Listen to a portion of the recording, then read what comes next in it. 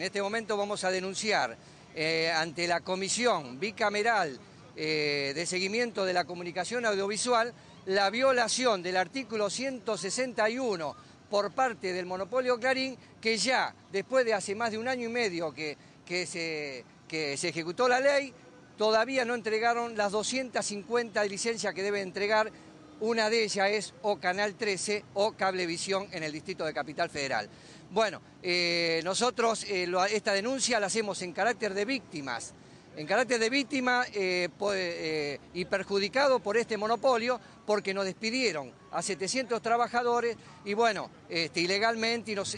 tenemos una deuda de 7 millones de dólares. Bueno, pero el tema es que esas 250 licencias fueron adquiridas eh, a partir de la apropiación irregular del Canal 13 de televisión, donde en ese proceso eh, Clarín se benefició a través de un defalco de 15 millones de dólares, eh, de los cuales en perjuicio de los trabajadores y en perjuicio del Estado. A través de jueces corruptos y de medidas cautelares tiene paralizada la ley. Es decir, eso en el ámbito de la justicia, nosotros como trabajadores y, víctimas de ese monopolio, tenemos la obligación moral de hacer la denuncia formal en, esta comisión bicameral que justamente es la que debe hacer cumplir, eh, eh, así debe hacer cumplir la, la, ley de medios audiovisuales actual. La impunidad que hubo, tanto con la apropiación de papel prensa, tanto con la apropiación de Radio Mitre, como lo que está pasando con los hijos desaparecidos,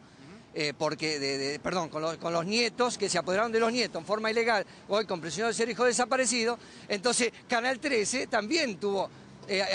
tuvo la misma impunidad y la tiene hasta el día de hoy.